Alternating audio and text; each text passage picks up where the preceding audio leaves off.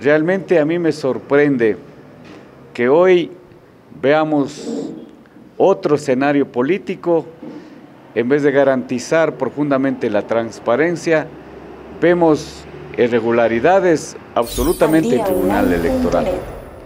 Primero, no puede ser un movimiento político que no tiene ni alcaldías, no tiene ni juntas parroquiales, no tiene ni concejalías rurales, sea la que realmente pretende llegar a la prefectura.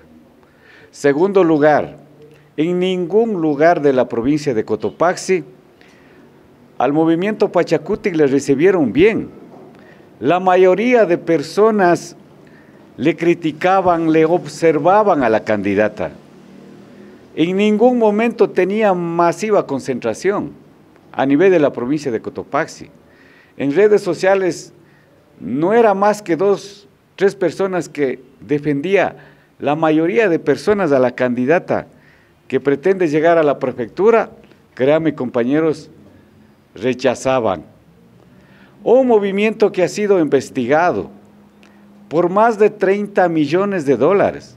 Un partido político que está siendo investigado por corrupción, por presunción de corrupción, está siendo investigado por la Fiscalía, por el Estado ecuatoriano, proseguido precisamente a toda su familia. No puede ser que en este momento sea la ganadora. Por otro lado, cuando fue el sistema, colapsó el sistema durante una hora Ahí cuando cambia el resultado de la provincia de Cotopaxi, hasta 10 de la mañana, 10 y media, en Ciudad del Atacungo, en otros lugares César Umajinga estaba triunfando. Yo quiero decir, distinguidos ciudadanas y ciudadanos, primero, nosotros con pruebas decimos que hay 120 actas inconsistentes, numéricas. En algunos lugares ni siquiera han llegado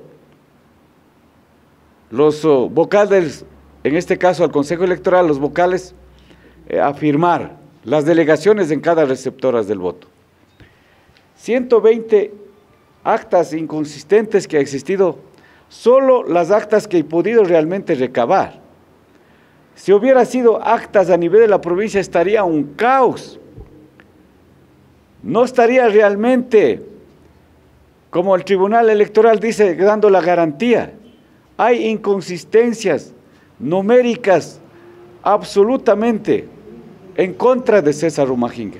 Claro, por último, el Consejo Nacional Electoral está siendo manejado por Pachacuti. si sigue manejado por Pachacuti, créanme, ningún, ningún candidato a la prefectura puede llegar, porque ellos están manejando, tienen ya absolutamente coordinadores, tienen la gente que sistematiza adentro tiene también los jefes que están ahí a nivel del Consejo Nacional Electoral.